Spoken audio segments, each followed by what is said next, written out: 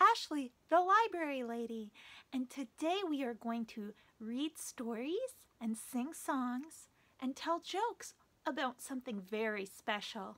I have a hint here to help us guess what it is.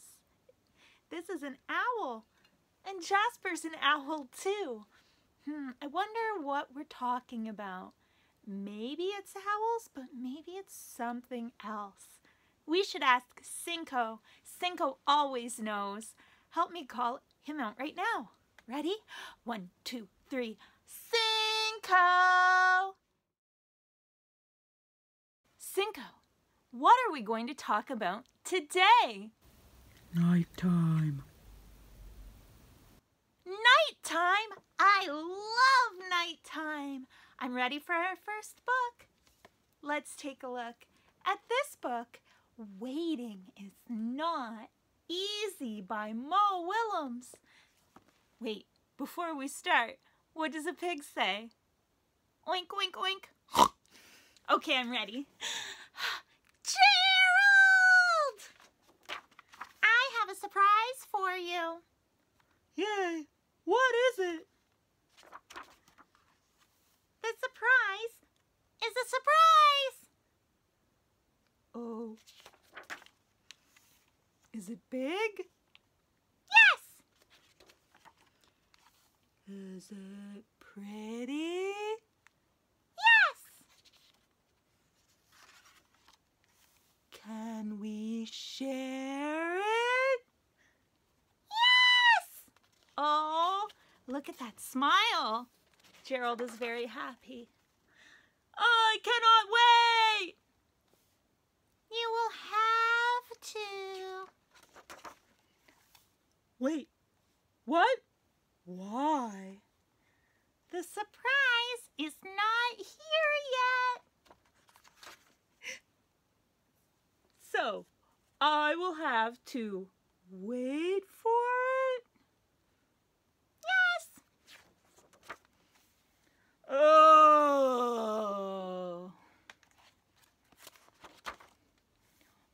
Oh well, if I have to wait, I will wait.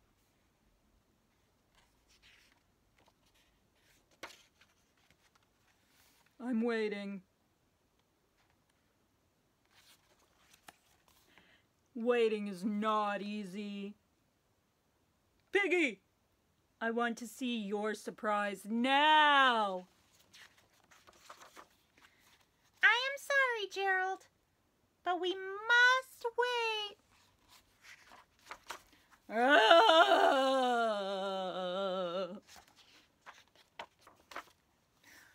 I am done waiting.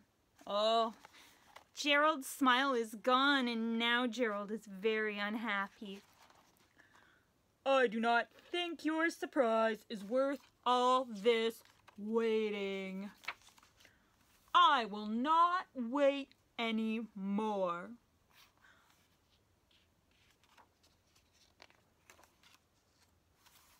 Okay, I will wait some more. It will be worth it. Ah!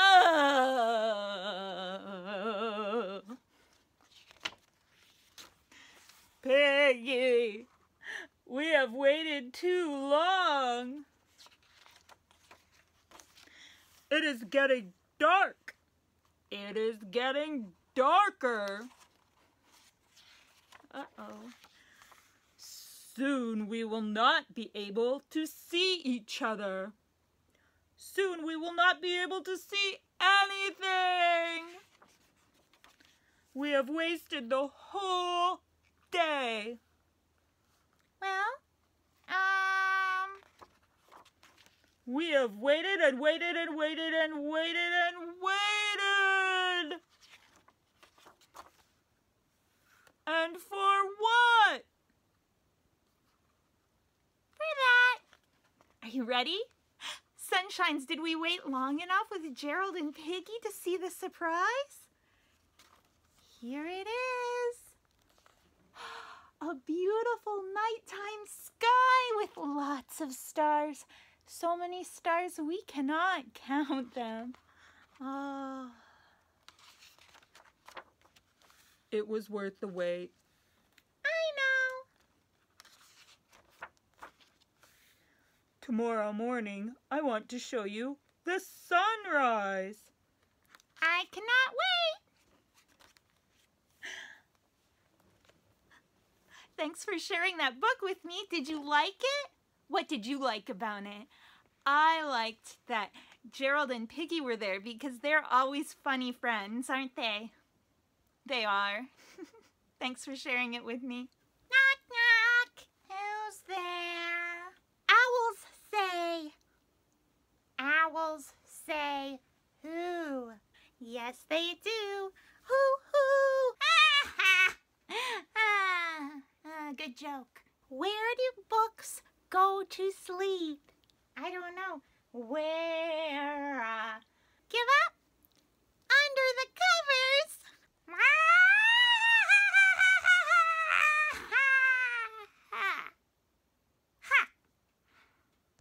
It's my turn, Paloma.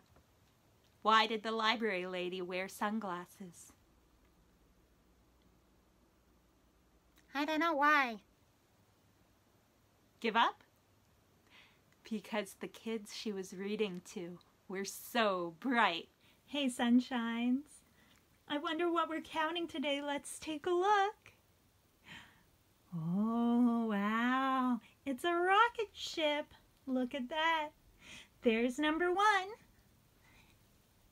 two, three, four, and five.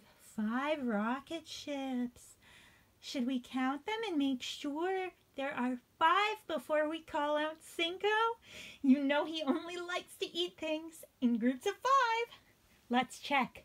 One, two, three. Oh, what comes next? Four, five.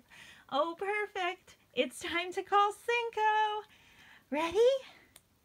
Cinco. Hi. Cinco, we made you lunch. Thanks. Okay, everybody, you know what time it is. We need to count back from five while Cinco has his lunch. Ready? Five. Four. Three. Two. And one. That was perfect. Do you think so, Cinco? Thanks. I want to see that again. There's number one two, three, four, and five. Five rocket ships. Should we count them and make sure there are five before we call out Cinco? You know he only likes to eat things in groups of five. Let's check. One, two, three. Oh, what comes next? Four, five. Oh, perfect. It's time to call Cinco. Ready? Cinco. Hi.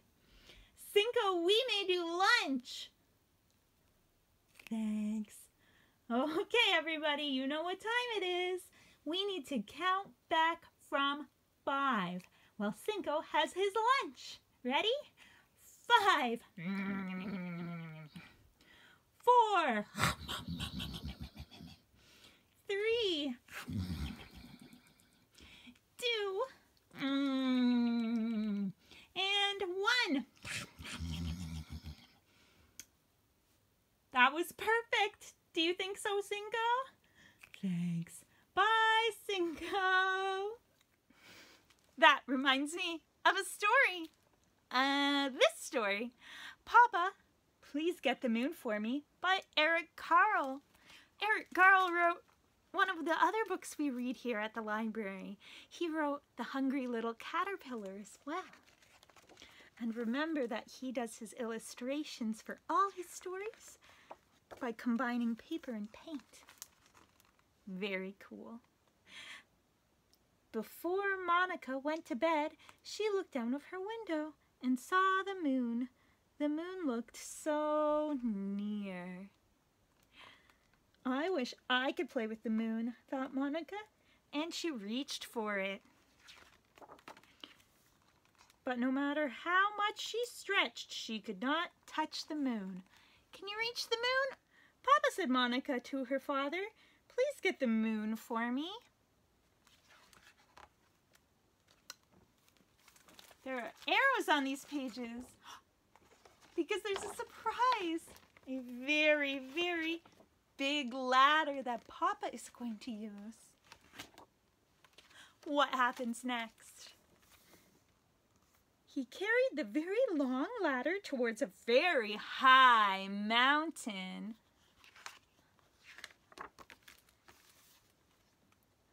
Ooh, there's another arrow.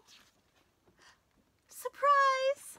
Oh my goodness, it's hard to hold this book because it has so many surprises. Then Papa put the very long ladder on top of the very high mountain. The ladder goes right off camera, but does it reach the moon? Up and up and up he climbed. There he is. He's almost on the moon. Here's the top of the moon. And let's see. Here's the bottom. Oh, oh Papa's got all the way up there. Finally, Papa got to the moon. My daughter Monica would like to play with you, said Papa, but you are much too big. Every night I get a little smaller, said the moon. When I am just the right size, take me with you. I don't know if that's really how moons work, but this is a very imaginative book. And indeed, the moon got smaller and smaller and smaller. When the moon was just the right size, Papa took it. Down and down and down he climbed. There's the mountain again.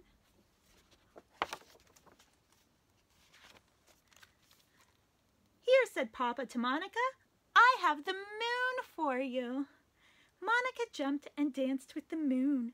She hugged the moon and threw it in the air. But the moon kept getting smaller and smaller and smaller, and finally it disappeared altogether.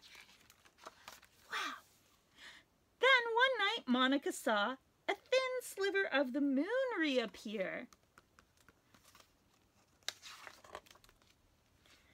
Each night the moon grew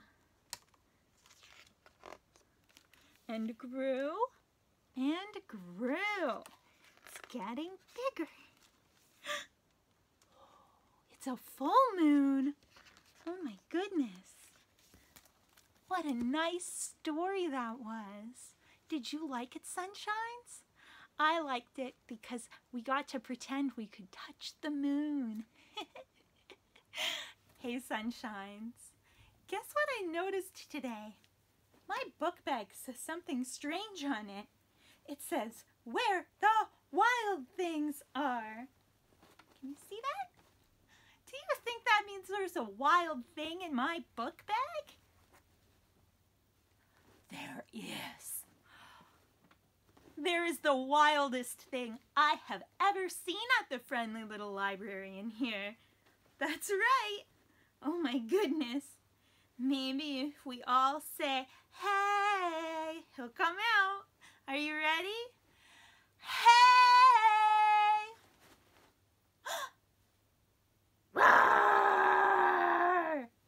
Oh my goodness, it's Rory the Roaring Rabbit. Hi, Rory. I have our first letter. It is a, do you know? It's a letter D. That's right, Rory. And here is the first letter in my name. What letter is that? It's the first letter in the alphabet. An A. That's right, Rory. And we have one more letter today. It's this letter, a stick, and then another stick and another stick. It's a Y. That's right. And our word today is the opposite of what we're talking about. Do you see D A Y? Day. Day is opposite of night. Ow! I love opposites! That's right, Rory. I love opposites too. My turn! It is your turn, Sadiq. I'm so excited. I'm listening really good. Okay, now that everybody is listening to us, let's sing our alphabet together. Ready? Here we go. A, B, C, D, E, F, G, H, I, J, K, L, M, N, O, P, Q, R, S, T, U, V, W, X, Y, and Z. Now I know my ABCs. Next time, won't you sing with me? That was fun. That made my day. I thought we could do sleeping piggies. And when piggies wake up, they oink. Ready? Sleeping piggies, still it's nearly noon. Come, let us wake them with a merry tune. They're so still, are they ill? Nearly noon. Wake up, piggies! Oink, little piggies, oink, oink, oink. Oink, little piggies, oink, oink, oink. Oink, little piggies, oink, oink, oink. Oink, oink, oink.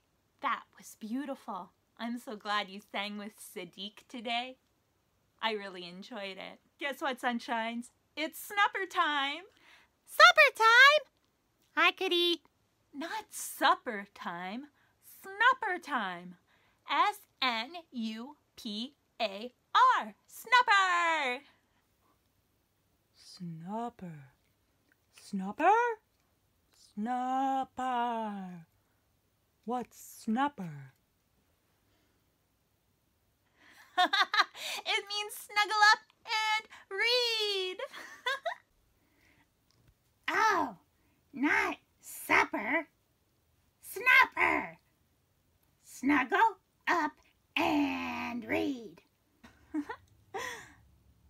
oh, Cinco, where are you taking the letter P? Oh, now it's snuggle you and read. I guess that's just fine with me. Are you snuggled, sunshines? Are you ready to snuggle up and listen? I am. I have Sadiq here, and I have Cinco, and we're all snuggled up and ready to hear the story. For our last story today, I have a story called The Night World by Mordicai Gerstein. We've got a cat. What do cats say, sunshines? Meow, meow. Good night, Sylvie. The cat's name is Sylvie. The Night World. Meow. The meowing cat woke the child up. But it is still dark. Meow. It's too late to go out, Sylvie. Or is it too early? Meowt! the cat would like the child to go outside. Everyone is sleeping, even the goldfish. What do we see in this picture? A fish, a parrot, and Sylvie? And it looks like, Sunshine, somebody is sleeping with a teddy bear right in there. Everyone except for Sylvie and me. Is this our house? In the dark, it seems like a different place. Have you ever looked at your house in the dark? It can be strange, but it's still our house. It's totally safe. Me out, said Sylvie. It's coming? It's almost here, she says. Hurry. The cat is talking in this story. The grass is wet with dew. The air is warm and sweet. The dark is soft and comfortable. This is the night world. There are shadows everywhere. Do you see outside? There's a tree. A cat. I think it's important that we don't really go outside without an adult at night. But this is a good imagination book of what it would be like if we did. Are these shadows roses? Are those lilies and sunflowers? Where are their colors? Everything is just dark. That shadow is a deer. Is this one a rabbit? A porcupine looks up and whispers, It's almost here. I see a skunk. I know there's a skunk outside the friendly little library every night because when I wake up in the morning, I can smell him. I see a fox and a lizard. Oh, a possum. So many animals and a bicycle as well. It's coming, murmur all the animals. It's almost here. Then a robin says it's on its way. Now another farther off. Here it comes. It's almost here, says a chickadee. It's almost here. Now birds near and far, each in its own language. It's on its way. Look, says Sylvie. Look, look, sing all the birds. Suddenly, all is still. Through the leaves of the trees, there is a glow. More animals. I see a raccoon and even a bear. Oh my goodness. And a deer. And there's Jasper the owl. Here and there, shadows start to slip away. Where's everyone going, I ask. This is our bedtime, says the porcupine. Sweet dreams, I say. The glow flares above the trees. Clouds turn pink and orange. It's the sunrise. Oh my goodness! The grass turns green, the roses turn pink and red, the lilies and sunflowers turn yellow. It's here, says Sylvie and the great glowing golden disk of the sun bursts from the tops of the trees. Good morning, sun, says Sylvie. Good morning, sing all the birds. It's going to be a beautiful day. I sing too. Good morning, sun. And good morning to you, Sylvie. Meow, says Sylvie. From the house I hear yawns. Everyone is waking up. Good morning, everyone. It's going to be a beautiful day. Oh, what's in the shadows? All of the animals sleeping. what an interesting book.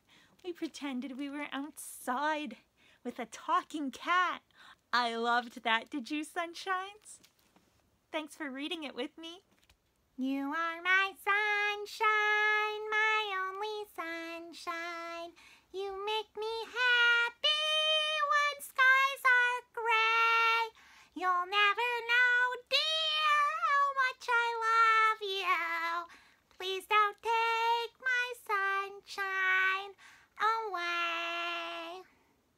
love being read to, you can look at our playlist of stories and be read to any time you want because the friendly little library is always open.